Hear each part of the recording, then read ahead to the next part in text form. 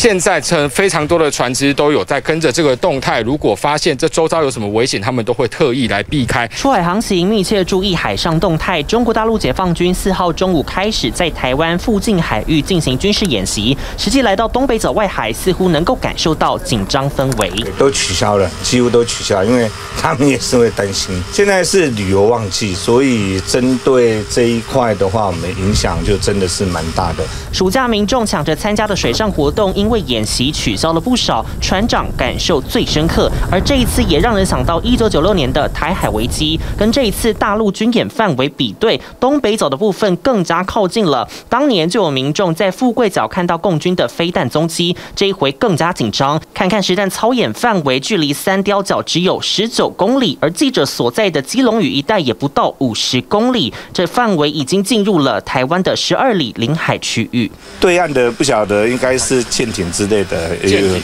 对对对，昨天刚刚脸书看到的，所以确实是他们真的是有船艇出来。美国众议院议长佩洛西才刚离台，大陆动作频频，军事挑衅恐怕也只会越来越多。国军如何加强应对，还有所有的情势变化，都值得持续关注。